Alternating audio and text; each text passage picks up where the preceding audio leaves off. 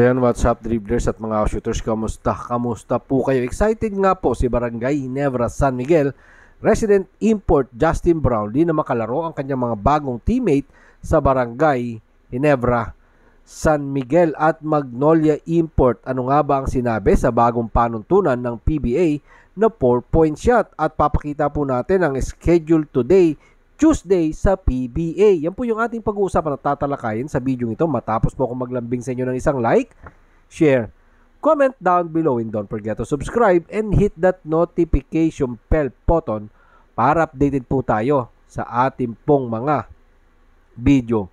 Inaasahan nga po ng resident import ng Barangay Ginebra San Miguel na si Justin Brownlee ang paglalaro kasama ang kanyang mga bagong teammate sa pagbubukas ng kanilang kampanya sa PBA Governors Cup laban sa Rain or Shine, Elasto Painters this coming Saturday po yan dyan sa Ilocos Sur sa Candon City Arena.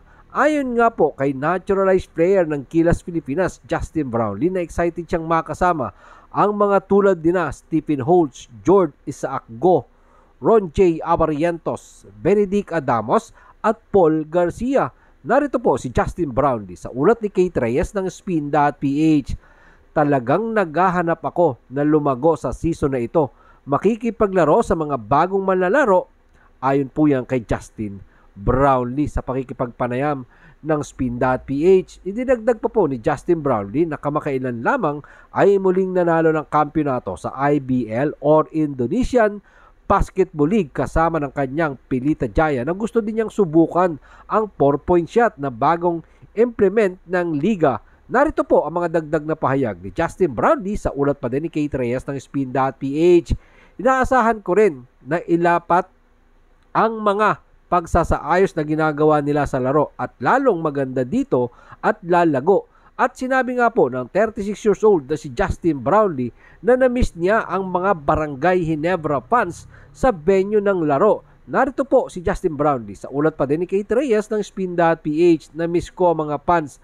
Sa totoo lang at ang mga atmosphere na dala nila sa laro. Iba sila, ramdam sila ni Justin Brownlee. Ramdam ni Justin Brownlee ang mainit na suporta ng Barangay Hinebra fans matapos nga po niya ang ilang stint niya dito sa Barangay Ginebra San Miguel. Anim na po na kampyonato ang napanalunan ni Justin Brownlee sa Barangay Ginebra San Miguel kasama po dyan dito sa paglalaro niya sa Pilipinas ang dalawang gold medal na pinaglaruan po niya para sa Gilas Pilipinas ng ating pong bansa at naglaro po sa lahat ng karamihang bansa na nilaruan ni Justin Brownlee siya po ay nagkampiyon at muli niya pong nagawa yan sa katatapos na IBL or Indonesian Basketball League kasama ng kanyang Pilita Jaya. Ang katanungan ng lahat, magagawa nga ba muli ni Justin Brownlee na bigyan ng kampyonato etong Barangay Ginebra San Miguel sa kabila ng pagkakawala ng dati niyang kakampi na sina Christian Stan Hardinger at Stanley Fringel. Pero sabi nga ni Justin Brownlee, excited siyang makasama ang kanyang mga bagong teammate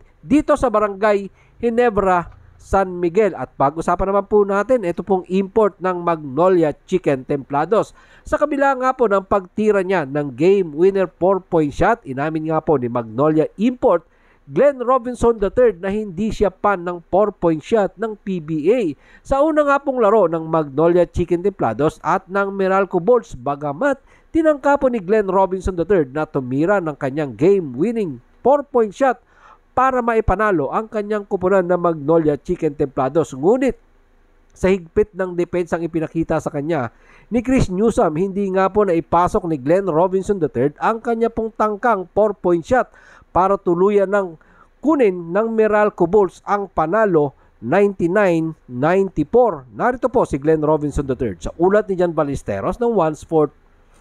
Alam kong kailangan namin ng 3 points pero nagdagdag sila ng 4 point line. Kaya naisip ko, bakit hindi ko subukan para makuha ang panalo? Well, kung yan talaga mga shooters no, sa pagkakataon, mag, at kung magkakaroon ka ng pagkakataon, ang team or ang mga lahat ng coaches, player, talagang susubukan mong gawin yan para sa iyong kupunan na ma-shoot yung 4-point play kung talagang tatlo lamang, di ba?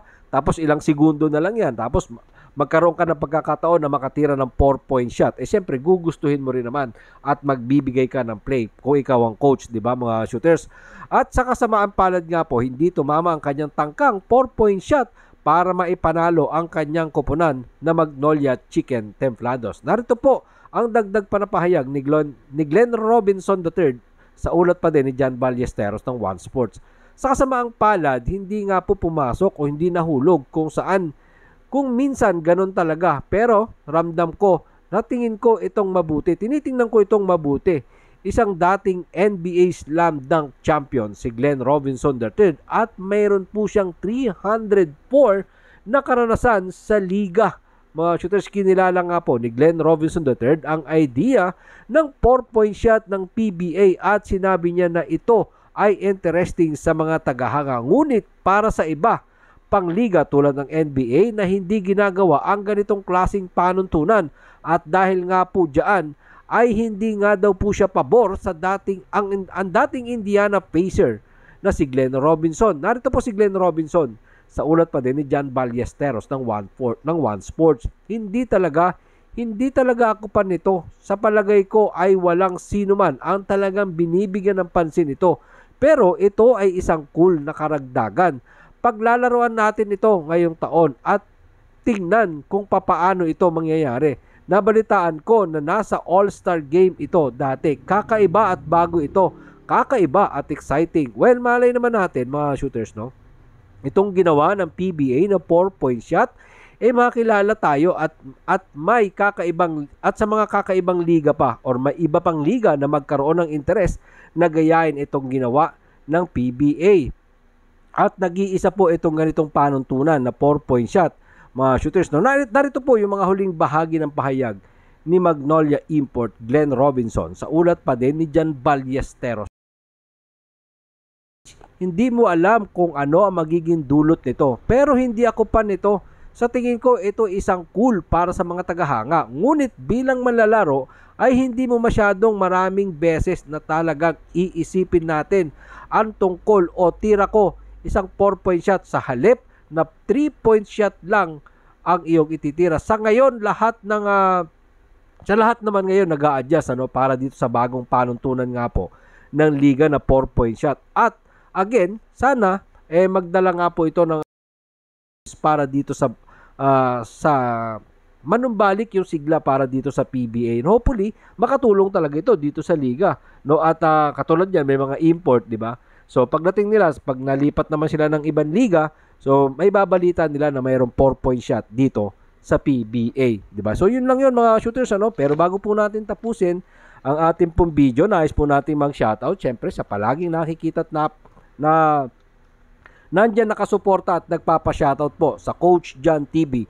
Ito pong sina Ronald Berbosidad, Gerald Di Guzman, Wilfredo Paraguyo, Jervin Chris, Teodoro Alonso, Villa Flores family ng Laguna, Noel Corpus, Francis Kiko Palumayan, at syempre, Lady Water. At syempre sa ating pong buong team, paangat. Maraming maraming salamat po sa inyong panonood na naman po ang inyong maging opinion.